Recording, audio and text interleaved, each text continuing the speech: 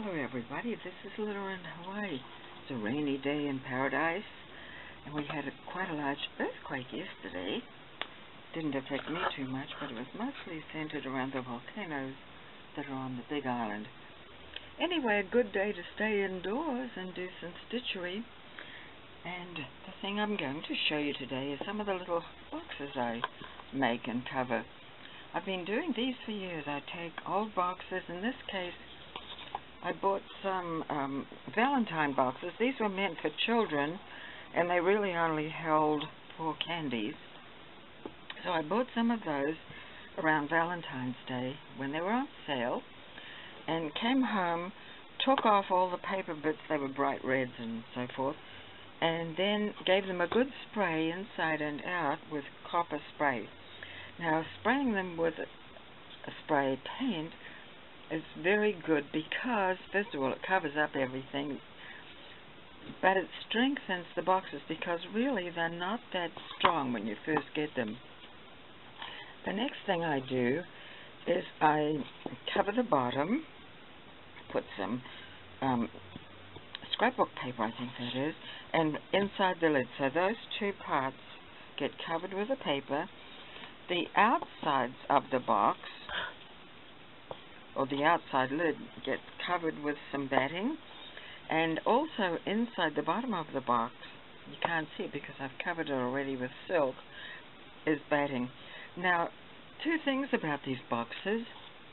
They have to have the type of lid that sits down over the top and will go close down because you can't cope with them unless they do that.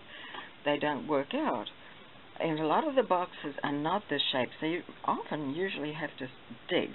So I dug and found a few of those. Then I don't put too much padding in the bottom of the boxes because they're not very deep as you can see. And if you do put too much in there, well then there's no room for anything else.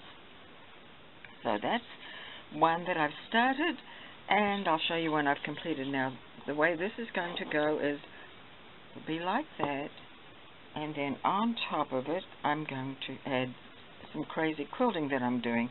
Now this is just started. Haven't finished this but I left it like that so you could see exactly what how I do. First of all I just use any fabric. In this case it's kind of a calico print. Just some nice cotton. Cotton's best to push the needle through. Then it has the pieces put on there. And crazy quilt style. You start in the middle and then you build up around the edge clockwise fashion. You probably know how to do that. So that adds all the pieces and I mix in silky trims and velvet, piece of ruffled velvet, piece of sequin velvet, some plaid, and in the middle I put an image of a woman and just to hasten things up so it doesn't take me so long I did sew on a couple of the trims here in the sewing machine and I ran along a, I call it one of my embroidery stitches on the machine. This looks like little bird's feet and this looks like little sunrises and I just ran it in black thread just along just so I've got to start because I'm going to be adding quite a bit of beading and embroidery. So that's that one. Now this one I finished. Same thing really. The bottom is covered with scrapbook paper and then the inside lid is covered with scrapbook paper. Again it has silk inside with some padding and the velvet, some of this velvet to hide the edge around there. Um, I could put anything in here for a gift, but in this case it's one of my CD technique um, it can be a brooch, but in this case it's going to be a pendant. So I've put a bail on this so that I can thread some chain or ribbon through. And if you do want to see how to make these CD um, pendants and brooches and whatever, you can look on my website, justlilla.com or .blogspot.com, and it's quite a, a maybe three, four years back. I did do a tutorial on how to do these. they're fun to do. Okay, so that's the inside completed. Looks good. And then the top. Now the top, same thing as the other one. I crazy quilted the piece and I did a few extra bits on this. I've done crazy quilt stitches on the seams. There's velvet. This is a pattern velvet. This is a hand-dyed velvet. And this is some hand-dyed lace. It's, the colors are sort of grey, um, purple mauve, maybe a slight greenish tinge. And I try and use fine fabrics like silks and velvets and things like that. And the image in the center has a frame around it that's kind of a neat technique. If you do hand embroidery, I did chain stitch all the way around with a thick thread first, and then I whipped the chain stitch with a variegated thread all the way around with a same dimension thread, but just whipped it. And it gives a corded frame sort of thing.